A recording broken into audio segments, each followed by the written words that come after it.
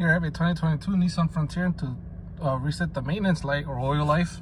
You're gonna be using this up and down right here. And then this side buttons. So you can go to the right or you can go straight to the left and you'll be right there where the settings are. And you go down to maintenance. And you're gonna press enter. And there's your oil and filter. Just press enter. Mine isn't there, but you can reset it. And that's it.